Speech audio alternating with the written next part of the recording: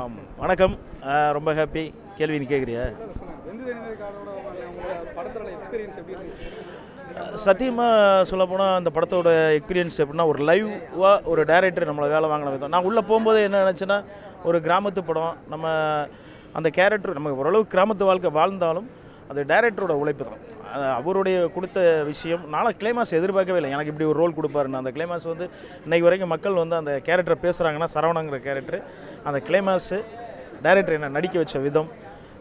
எனக்கு இந்த படம் வந்து இன்னொரு கடமையாக இருக்குது இன்னும் என்னென்ன பண்ண போகிறோம் அப்படிங்கிறது கண்டிப்பாக நிறைய வாய்ப்புகள் நல்ல வாய்ப்புகள் வரும். ரொம்ப நல்ல ஒரு பையன் அவர் வந்து. எப்படி சொல்கிறதுனா ஒரு ஆக்டருக்கு வந்து முதல்ல இடம் கொடுக்கணும். அப்படின்னா தான் நம்ம வந்து த்ரோட்டாக பண்ண முடியும்.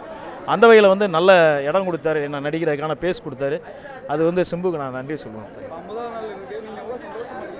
பயங்கர ஹேப்பி நினைவான ஒரு நாளில் இந்த படம் ஒரு வெற்றினாலே அது நினைவுபடுத்தக்கூடிய ஒரு வெற்றியாக இருக்கணும். அந்த வகையில் இந்த அவார்டு ஃபங்க்ஷன் வச்சதுக்கு தயாரிப்பாளர் ஐஸ்வர்ய கணேசன் சார் சார் நன்றி சொல்லுவேன். உண்மையில். அடுத்து வாழ்க விவசாயி சூரியனும் சூரியகாந்தி எல்லாம் ரிலீஸ் ஆக போகுது. அது இல்லாமல் நிறைய படங்கள் கேரக்டேஷனாக பண்ணிகிட்டு இருக்கேன். ஒரு மலையாள படம் ஒன்று பண்ணுறேன் புஷ்பா டூ தான் மிஸ் ஆயிடுச்சு. அது கொஞ்சம் எனக்கு கொஞ்சம் வருத்தம் தான். டேட்டு பிரச்சனைனால ரொம்ப ஹாப்பி நல்லா பிஸியாக போயிட்டுருக்கு நன்றி. தேங்க்யூ